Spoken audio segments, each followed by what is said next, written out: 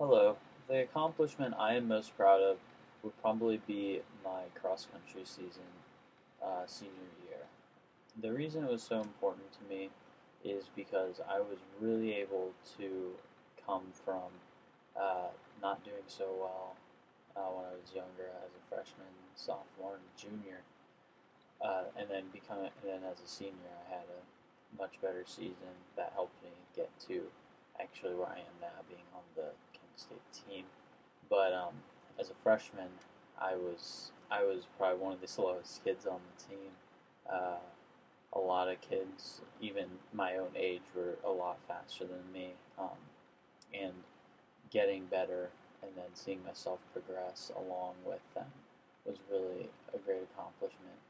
Uh, one of the things that really stood out to me was just when it was my conference race my senior year me and my other teammate, his name is also Bryce, coincidentally, but we went 1 2 in the conference meet, so we really helped our team get a good spot in that.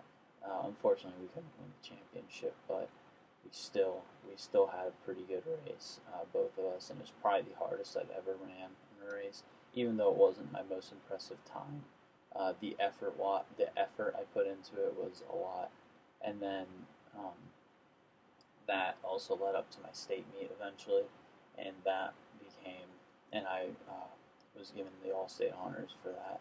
So that was really an awesome experience, and experiencing that really has helped me shape me and know that hard work, all my hard work that I had put in throughout the four years that I was running cross country.